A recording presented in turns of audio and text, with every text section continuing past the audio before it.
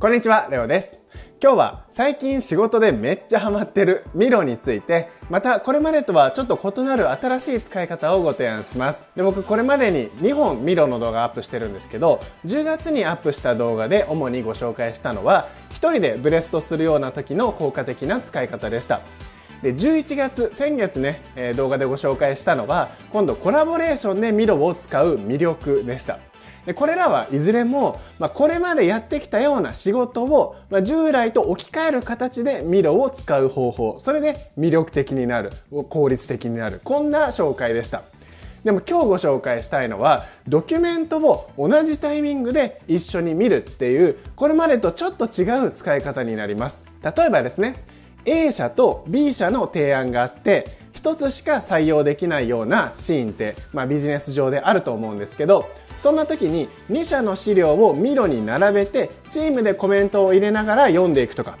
あるいは C さんが考えてきたクライアントへの提案資料を上司の D さんが C さんと一緒にレビューをするとか。そんなミロの使い方になります。で多分これミロ以前にはあまりなかった仕事の仕方で僕も仕事で取り入れていて結構気に入ってるんですね。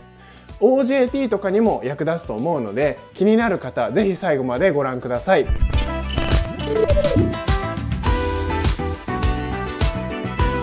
いうことで今回早速やり方を解説していこうと思います。今日は寿司屋のオーナーと大将のもとにやってきた某食べふんふん社の営業とあと某グルフンフン社の営業がそれぞれ置いていったネット広告のプランについて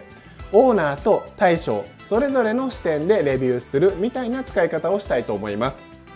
まずミロを立ち上げます。新しいボードからボードを作ってそこに資料を貼り付けます。ミロには PDF も PowerPoint もそのまま貼り付けられます。で PDF にしろ PowerPoint にしろ複数ページある資料の場合貼り付けて最初は1ページにまとまっています。なのでドキュメントをワンクリックしてページを抽出をクリックすべてにチェックを入れて抽出するをクリックすると中のスライドがすべて展開されますそしたら右上の共有をクリックして共有先のチームのメンバーのメールアドレスを記入してボードに招待しましょうでメンバーが参加してきたらワーク開始です。コメント機能でコメントを追加していくこともできるんですけど、個人的には視覚的にわかりやすい付箋機能でコメントを残していくのが好きです。で付箋のショートカットは N です。で、その際、例えばいいと思うポイントには青色の付箋でコメントを残して、いまいちだと思うポイントには赤色でコメントを残すみたいにしていくと、引きで見た時に分かりやすいです。それと、一つ目の付箋を貼り付けたら、付箋をクリックして出てくるメニューの中から作成者を表示をクリックしておくと、誰が記述したコメントか一発で可視化されてこれも便利です。でここから先は自由なんですけど個人的には一旦時間を区切ってそれぞれ黙々とコメントを入れる時間を作ってその後でお互いのコメントを見て議論するのが好きです時間を区切るときは右上のタイマー機能をクリックして時間を選んでスタートするだけですで僕個人的にはこの同じ時間を共有しながらでも自分で考える時間を作れるっていうのもミロの好きなところなんですよね。だか従来の働き方って普通自分のデスクで自分のことだけを集中してやる時間かあるいは会議室に集まって一緒に話し合う時間のどちらかだったように思うんですよね。でもミロはこの自分の席に座りながら人の動きを感じながらでも自分の集中時間が取れるっていう感じが新しくて僕はとてもいいなと思ってます。で一定時間が経過したら個人ワークを終了して一緒にレビューをします。で赤い付箋が貼られた懸念については、まあ、どうやったら解決できるか考えてもいいですしそもそも赤い付箋ばかりになるようなプランだったら多分採用するのをやめておいた方が良さそうです。こうして2社の提案資料に現場で頑張る大将とビジネス感覚のあるオーナーの目が入りました。で、これさっき言った OJT みたいな使い方でも似たようなことができて、要は部下が作ってきた何か新しい提案だったりとか、えー、資料みたいなものを、じゃあ他のところにステークホルダーに出す前に上司と一緒にこう一回ミロに貼り付けて、お互いにレビューしていくと。あるいは上司がレビューしていくのを、まあ部下が見ておいてもらって、で最後に、まあ、一緒にコメントしながら、こここうだよねってやるみたいな、まあそんな時間の使い方をするのも一ついいやり方かなというふうに思います。で僕、まあこういうワークをするときにいつも思うのが、まあ果たしてこのやり方本当に効率的だろうかとか、それともね、従来のやり方の方が効率的だろうか、時間的にどうなんだろうかっていうことです。でこの感覚は、まあ、ビジネスなんで常に必要かなとは思ってます。で多分今回の事例でもオーナーの時給が大将の10倍くらい違っていたりすると成立しない気はします。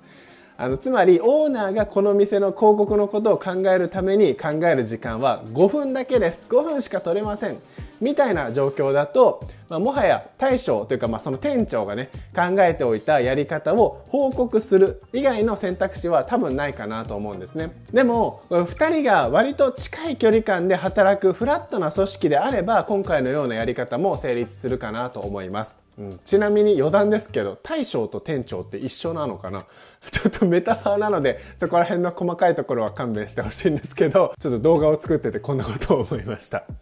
でまああの話戻して仮に計算するとね、まあ、従来のやり方で大将が1人で営業資料を2つ比較検討するとして、まあ、合わせて30分くらい眺めてそして大将が、えー、大将なりに考えたことを、まあ、意見出してみてそれをオーナーに5分で報告するとするとえー、大将の35分とオーナーの5分が使われます。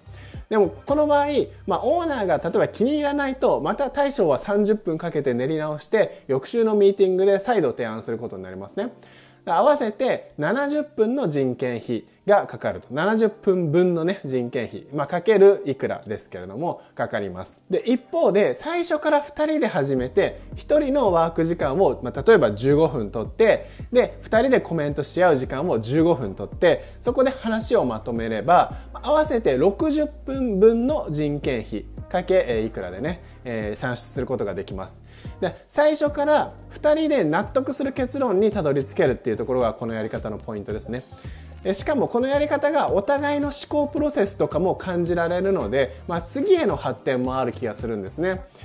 上司と部下の関係だとすると OJT 的な感じになって、まあ、普通の教育じゃ伝えづらい実践のノウハウが伝わるような空気で伝わるような気がします。でまあこういうのはねあのあくまであのここで言うところのオーナー普通の会社で言うところの上司の側がねある程度時間を投資できるっていうことが条件ではあります。さっき言ったようにオーナーの5分が、えー、大将の5分の10倍の、えー、人件費だとしたら、えー、時給だとしたら多分成立しないですよね。なんか、えー、10倍だから6倍の30分を大将が2倍使った方がよりあの全体的な人件費的には落ちるみたいな話があるので、まあ、そこはねいろんな組織で考えなきゃいけないしケースバイケースで30分で終わらないミーティングとかもあるので一応時間コスト感考えておいた方がいいんだけどでもこのやり方にはこのやり方なりのメリットがあるっていうことが僕は言いたいところです。ということで今回はミロを使って複数人で書類を1つの書類ないしは2つの3つの複数の書類をレビューしていく方法とそのメリットっていうものをご紹介しました。